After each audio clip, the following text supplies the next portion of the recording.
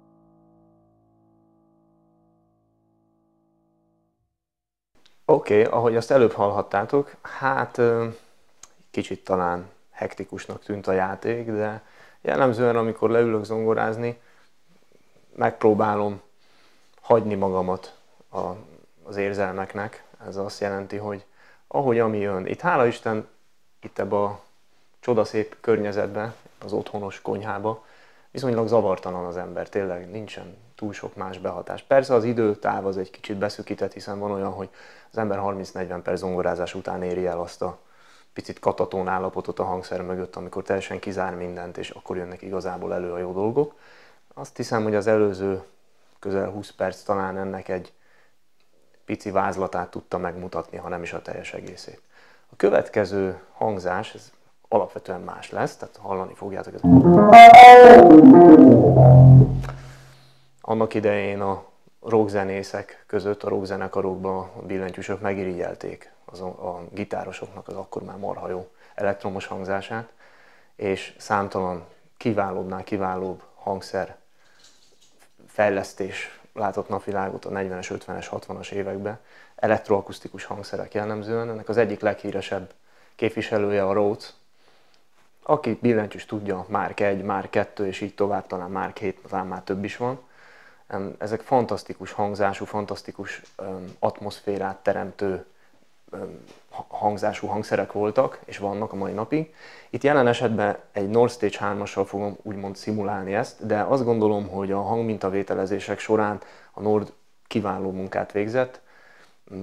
Igazából nincs hiányérzetem, amikor ezzel játszok, bár nekem otthon van egy eredeti Mark 1-es Rosszom, és azon nagyon szeretek játszani, de azért lássuk be, az egy picit muzeális dolog, tehát nem is bírja annyira a strapát, mint adott esetben egy ilyen stage piano.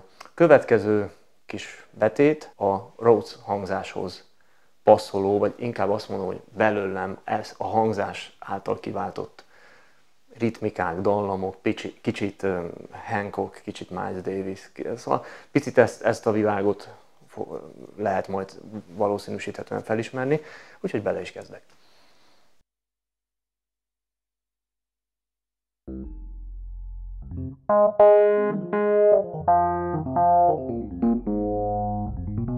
Thank you.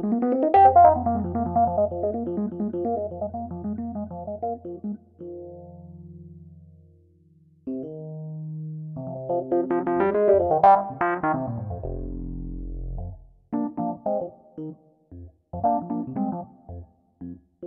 you.